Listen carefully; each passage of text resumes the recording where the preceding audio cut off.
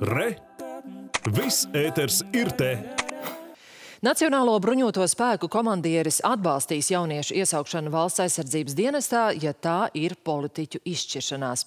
Tā intervijā panorāmā sacīja Nacionālo bruņoto spēku komandieris Leonīds Kalniņš. Es uh, gribu iesākt uh, ar manu un uh, daudz mūsu viedoklis. Latvijas aizsardzības nodrošināšana ir principā Latvijas pilsoņu brīvprātīgā griba.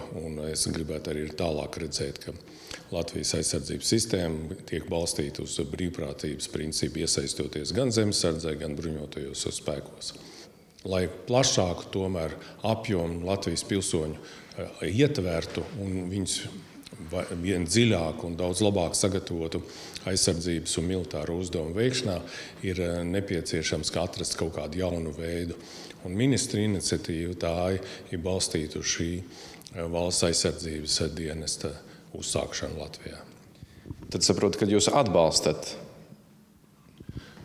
valsts aizsardzības dienesta ieviešanu. Jā. Tāds ir politiskais lēmums. Man ir jāatbalsta tas. Un jūs personīgais? Mans personīgais viedoklis, ja mēs skatāmies uz visaptvarošo valsts aizsardzību un sagatavojam valsts pilsoņus, tad šai ziņā man ir pilnīgs atbalsts.